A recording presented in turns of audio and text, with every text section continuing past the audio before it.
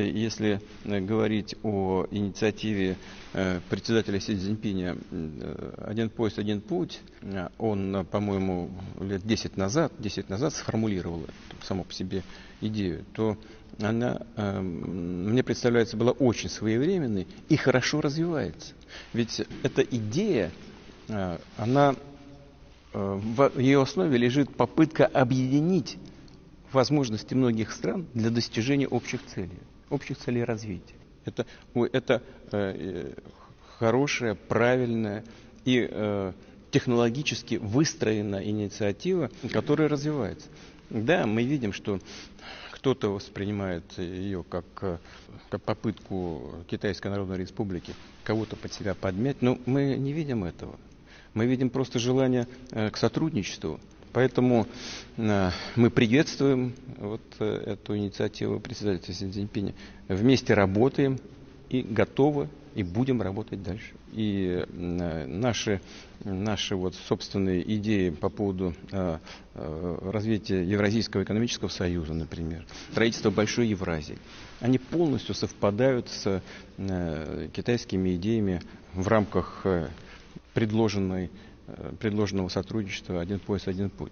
您觉得在过去的十年当中啊，共建“一带一路”倡议从一个理念变为现实，为全球的发展带来了哪些实实在在的改变？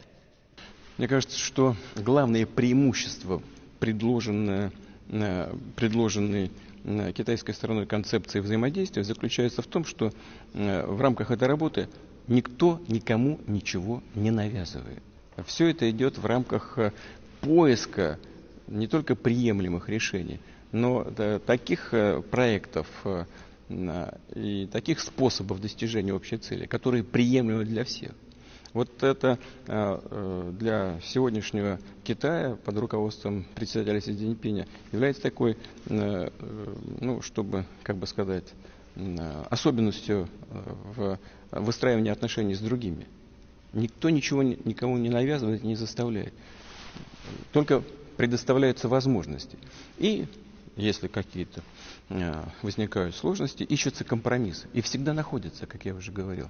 Э, вот это, на мой взгляд, то, что отличает э, предложенный председателем Китая проект «Один пояс, один путь» от многих других, которые пытаются реализовать в мире страны с тяжелым колониальным наследием.